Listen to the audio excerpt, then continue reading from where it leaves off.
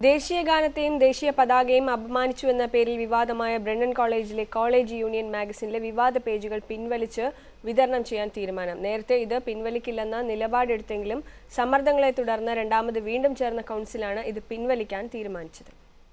തിയേറ്ററിൽ കസേര വിട്ടെഴുന്നേൽക്കുന്ന രാഷ്ട്രസ്നേഹം തെരുവിൽ മനുസ്മൃതി വായിക്കുന്ന രാഷ്ട്രസ്നേഹം. ഇതായിരുന്നു മാഗസിനിലെ ഹൈക്കു കവിതയും വിവാദമായ ചിത്രീകരണവും.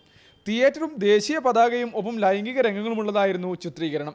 തെരുവിൽ സ്ത്രീകൾക്കെതിരായ അതിക്രമമാണ് ചിത്രീകരിച്ചിരിക്കുന്നതെന്ന് വിശദീകരണമുണ്ടെങ്കിലും ഒറ്റ നോട്ടത്തിൽ ആശയക്കുഴപ്പമുണ്ടാക്കുന്നതാണ് പേജ്.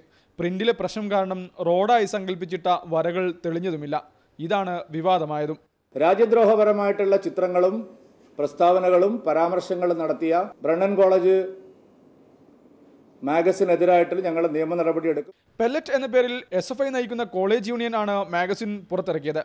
ദേശീയത അടിച്ചേൽപ്പിക്കുകയും അതേസമയം തെരുവിൽ സ്ത്രീകൾ അതിക്രമത്തിനിരയാവുകയും ചെയ്യുന്ന സാഹചര്യത്തിൽ സാമൂഹ്യ പ്രസക്തിയുള്ള ഹൈക്കു കവിതയിലും ചിത്രീകരണത്തിലും ദേശവിരുദ്ധമായി ഒന്നുമില്ലെന്ന് ഇന്ന് ചേർന്ന കോളേജ് കൗൺസിലും ആദ്യം വിലയിരുത്തി.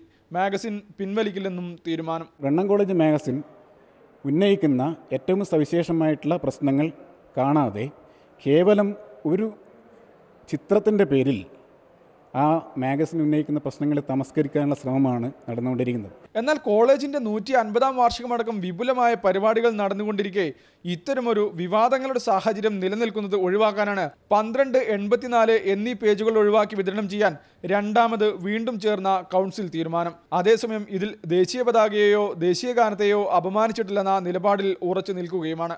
Asian news Kannur.